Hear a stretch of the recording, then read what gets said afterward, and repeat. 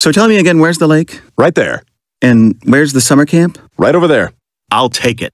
Now, I am obligated to disclose that the previous owners were murdered in this house. Whoa, buddy, quit drilling. You already struck oil.